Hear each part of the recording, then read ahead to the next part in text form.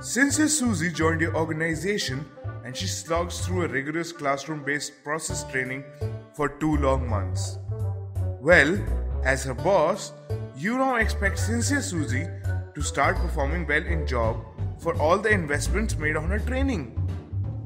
Unfortunately, both for you and Sincere Susie, she is not able to live up to the expectation on the job floor. You wonder what may be going wrong here. The clue to the situation lies in the fundamental design of our brain, which in fact is quite leaky.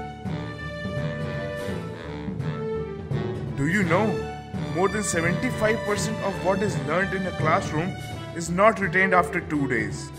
This is known as the knowledge retention issue with classroom training.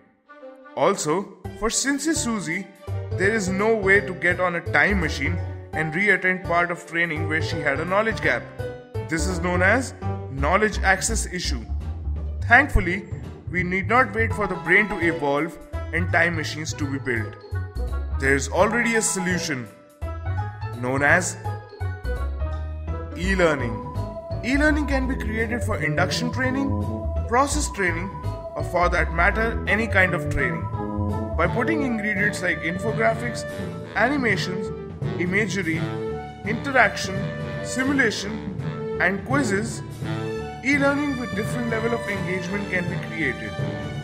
So if you want to see your organization grow, just fill in this form and we'll be there to help you.